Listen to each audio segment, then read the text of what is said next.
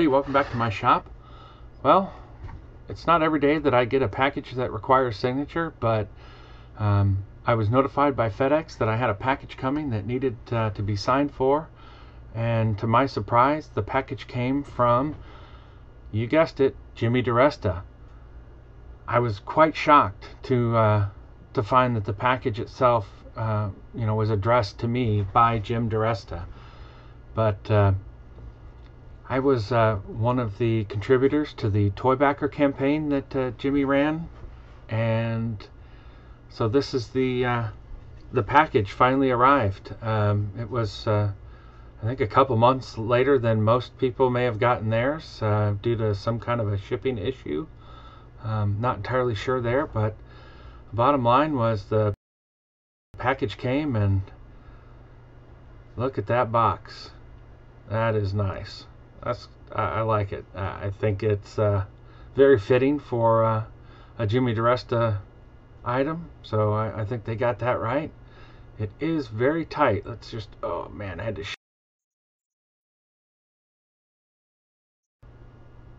there it came. All right, get this crap out of the way. Move a few things. There we go. What's this?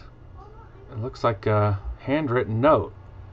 Not certain if everyone got one of these, but uh, I got a note addressed to Brian saying, Thank you for the love and support, Jimmy DiResta.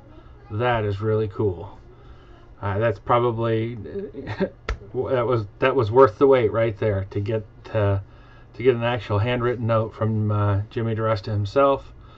Um, this is obviously just the uh, Toy Backer uh, slick that uh, they included in the box, and uh, you know it is really a really good uh, quality uh, build that they did here.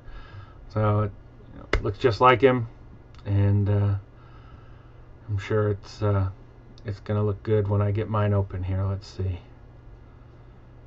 All right, get the foam. Oh, not sure why I had to look it over, but I did.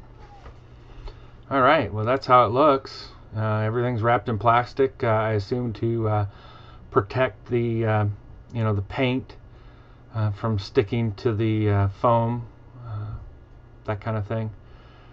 I know that some of the model railroad engines that I get they, they come like that too, where they've got plastic covering over the you know the paint job before you know, before you get it out of the package. So I assume it's got something to do with uh, protecting the paint from sticking. Well, as you can see, I, I did get the uh,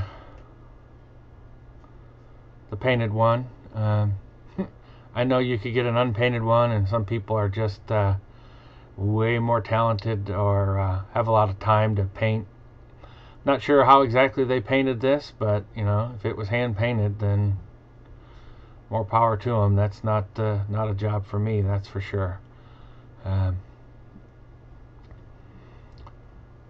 so we'll just kind of get him out, see how he looks, check it out. Um, the only disappointing thing I felt was the uh, the sticker. Uh, I would have liked to have seen the you know the the DiResta stencil. Um, maybe actually you know, painted on or, uh, you know, lasered on or I don't know, something.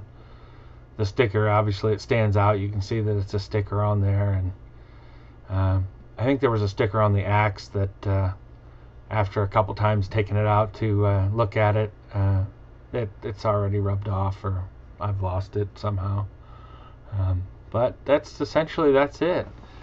Um, that's what it looks like and uh,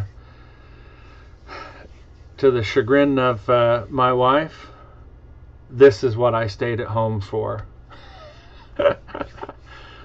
to me it was worth it uh, I I thought it was pretty cool to, to have a you know somebody that I used to watch on um, you know the DIY channel maybe it was reruns or the Discovery Channel uh, with some of the, the different TV shows that uh, Jimmy's done over the years uh, on uh, you know building things, and then obviously on to his uh, his now YouTube sensation that he is. Um, I think it's really neat to be able to have uh, you know a little piece of that history to say, yep, I used to watch Jimmy DiResta, I've, I've, and I've actually have. I've been watching him for years. Um, love his videos, uh, loved his uh, TV shows that he did, and uh, just proud to be able to say I've got uh, my own little Jimmy that'll be uh, visiting my shop soon. Thanks for watching.